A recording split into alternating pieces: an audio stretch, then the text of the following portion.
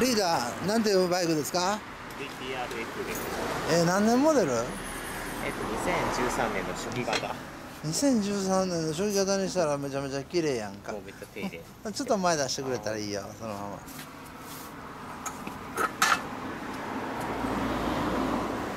ずーっともうちょっと前出してくれたらいいよ。はいすいません。これは何ていうバイクですか？RGSR の250です。F じゃないねこれ。F じゃないえー、何年モデル？は12年。ですあー綺麗に乗ってるなこれ。どこのマフラー入ってんこれのは吉村ですね。また後でサウンド聞かしてな。はい。もうちょっとまた出して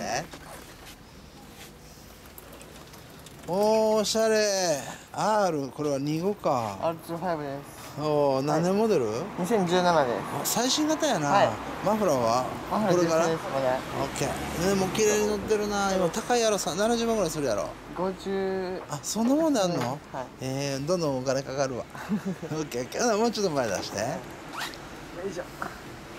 はーいこれもあのこれ何年モデル？これも2017年モデ最新型が一緒の形？ルはい。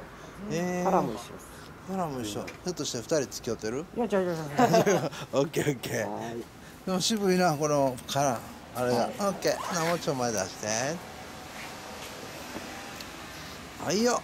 これはなんていうバイク？これも R25 です。?R25 えー、何年モデル？これも17年式です。17年。えー、マフラーどこ入ってんの？オーバーレーシングが入ってます。あとでサウンド聞かしてねもうちょっと前出してくれる？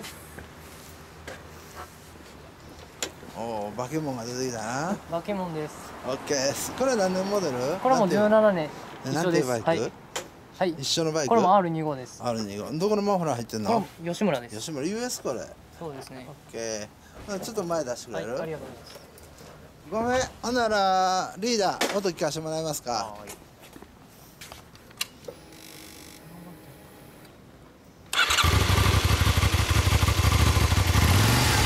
ンジンがええイオンなしっていうやつだね。オッケー。ちょっと待ってね。はいよ。ごめん R25 エンジン音聞かせてもらえる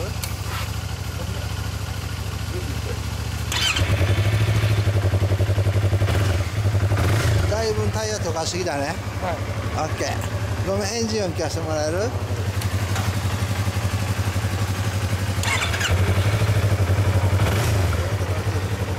はいごめん。えー、GSR250 ごめんメーター切り分からしてね好きやね俺。鈴木っぽいですねエンジン音聞かせてもらえる？おー。ヤマハヤマハヤマハスオッケーごめんなさいえー、オーバーえー、っとごめんエンジン音聞かせてもらえる、滋賀県か遠いなすごいです。オッケーごめんエンジン起動してもらえる瞬間が好きだなあいいですねこれ。エンオッケーエンジン音聞かしておライブライブ入れてんやな。京都かな。オッケー気付けて帰るや。はいよ。また明日待ってるで。明日。オッケーもうちょい待ちなちょっとずつ隙間開けてって。あ車間開けて出てくれたらいいわ。流れるようになるから。あいいよ。あら1台